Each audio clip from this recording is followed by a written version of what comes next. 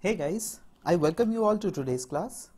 Guys, in today's class we'll be seeing the topic of growth centers and growth poles. So let's start. Let's see first that what do we actually mean, what do we actually see regarding growth throughout the world. So if we see growth, then actually see growth is not at all ubiquitous throughout the world, right? Means take for example any country, right? In take the example of India only, right? From north to south, from east to west, the growth everywhere is not same. We know about it, right? So here it is being said that see growth, if it starts, then it starts from a point. Like in India, there are few of the regions which are very much you know forward growth, like like uh, uh, Delhi, like Mumbai, like Chennai and uh, Kolkata, right? Now it is being said here that the growth of any region starts from first from a point then it goes then it becomes growth center then it becomes growth pole right? Now what does it means? It means that uh, initial at initial stage there was a point from which it has gone started. Means take for example initially of course kolkata was not developed initially right? Neither bombay was developed nor chennai was developed nor uh, delhi was developed there was a source which start which started development in this region right take the example of britishers. When britishers came then they were you know making ports over here because they had to export many raw materials to their countries right? So they started developing this region right? Similarly they started developing chennai. Similarly they started developing uh, kolkata right? So that initial development has started what's being said to be growth point right? And when that growth point grew that that is they in and around that point they grew many of the uh, services sectors and they you know started setting up many industries then that growth point converted into growth center right? And when this growth center further evolved it further evolved or or many other growth centers you know get got uh, you know together then they resulted in the formation of growth poles. Is it clear right? So see these are only the points that we are going to discuss in this whole chapter that what is growth point what is growth center what is growth pole right?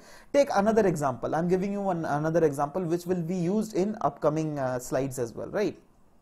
Take the example that there is any region and you have set up your steel plant or your uh, automobile plant, right? So at the initial stages, you have decided that whatever the raw materials being that is being needed for this uh, automobile plant, you will get it imported from other countries, right?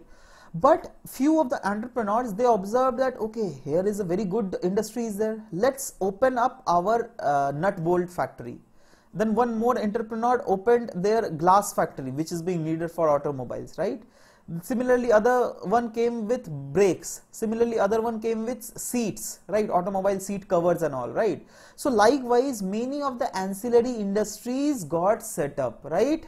Similarly, probably if this much ancillary industries are there, then probably motorcycle industry will also feel that, okay, let's set up our plant as well because of course all the facilities are there right? So if we will set up our plan then probably we will be getting every facilities from here itself right? So motorcycle uh, center will also uh, set up their plant here right? So likewise if many of the you know uh, services start setting up or many of the manufacturing activities start setting up in this region then it will get converted from growth center sorry sorry from growth point to a huge growth center. And when this growth center will further evolve when it will further evolve when it will take intake the nearby growth uh, pole uh, sorry well it will intake the nearby growth centers right? Then it will become further large and it will become growth pole right? Is it clear?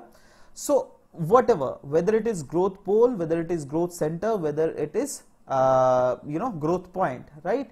All these theories are of european experiences because see uh, europeans were the one where the first evolution of economic activities were observed because their from there you know only industries industrialization got evolved in other parts of the world right? So they were the one who firstly observed how the economy is growing there how the industries are growing there right? So that's why they kept their model right? And those were called regionalization model.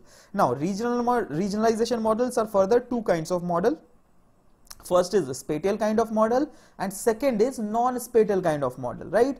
In spatial kind of model there comes two theories that is growth pole theories and growth center theories. In non-spatial part there comes Rostow growth model which we will be reading in later classes right?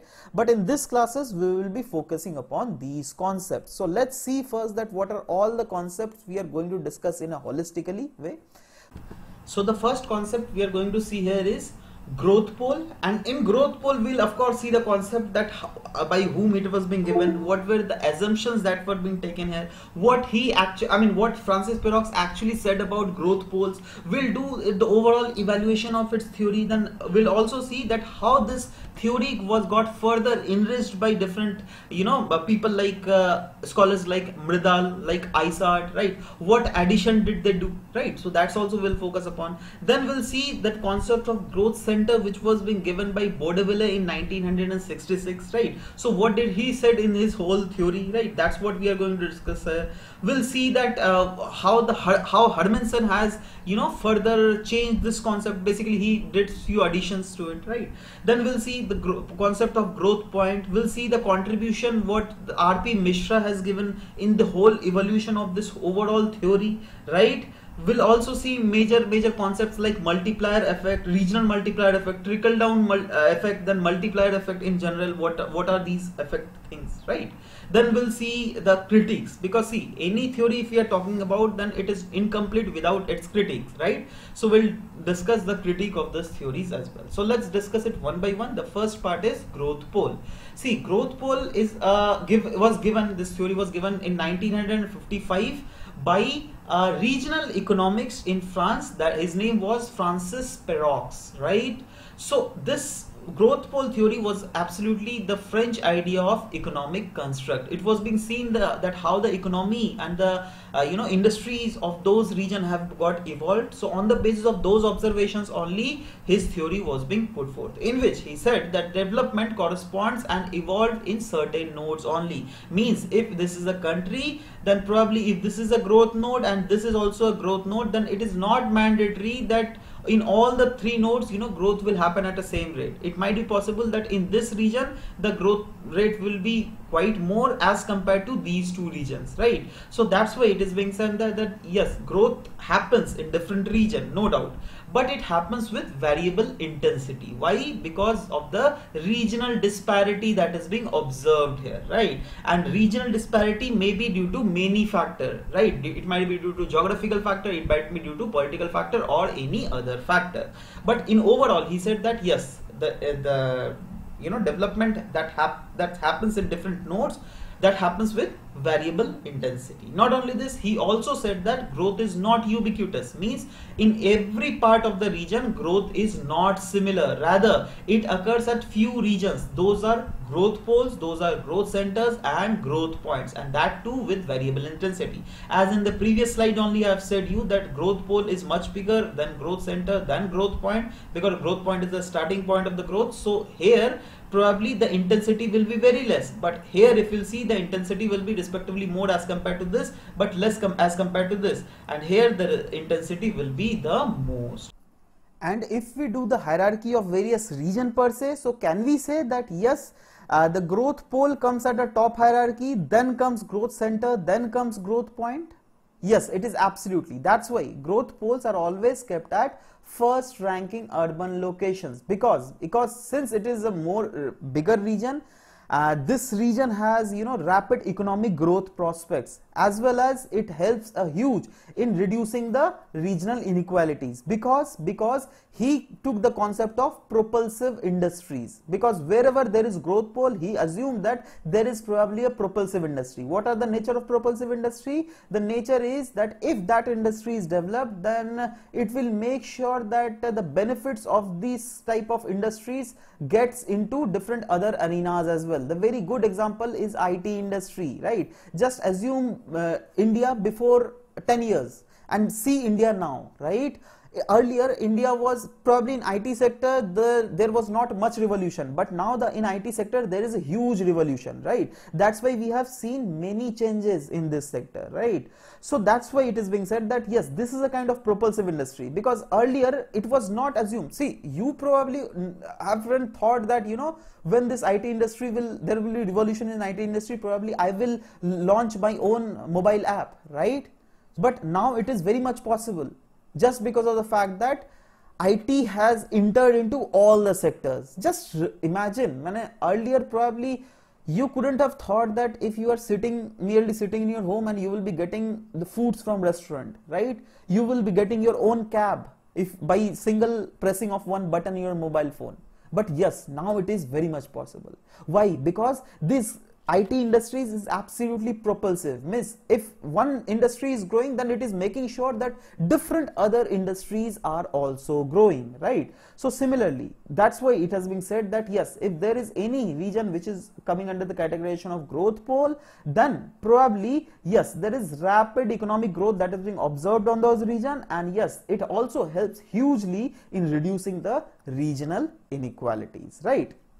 He also said that see urban locations are very much benefited from the urban economy. Because see urban locations are the places where there is growth pole right?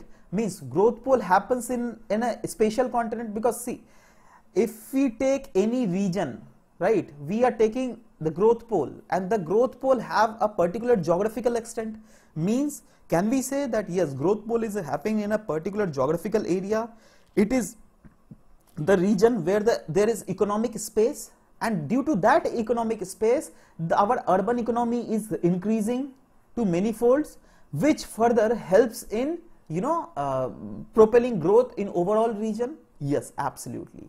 And not only this if there is any region which is growth pole then of course to sustain that growth pole you know we need huge capital. That's why these kind of regions are the region which sees a huge investment within themselves right? And which further results in spillovering effect. That is you know variable it uh, results in benefiting variable channels through variable cardinals right? Means that is if uh, when earlier IT industries was coming then probably it was thought that probably you know our computer engineers will get job only right? Yes that is true. Computer engineers will get job. But not only that it has resulted in giving job to unskilled sector as well right? Because you know see earlier probably uh, a person was not getting employed but now through various activities very various e-commerce activities like zomato like uber like ola